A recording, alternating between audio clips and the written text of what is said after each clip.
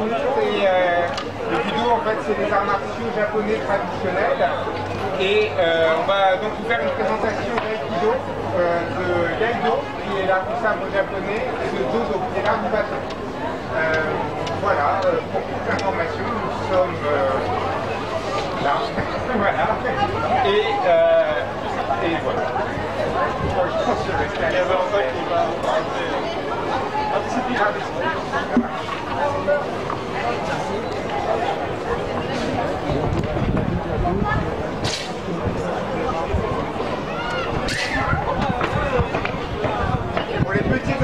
Euh,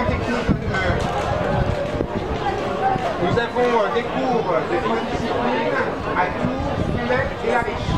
Euh, le mardi soir, c'est le Kai à Tours, le mercredi soir, le dodo, le bâton. Euh, L'aïkido se trouve à la Riche et à Fondec. Le mercredi, le vendredi et le samedi, et le samedi à Fondec, qui est un cours des communs en fait aux trois disciplines.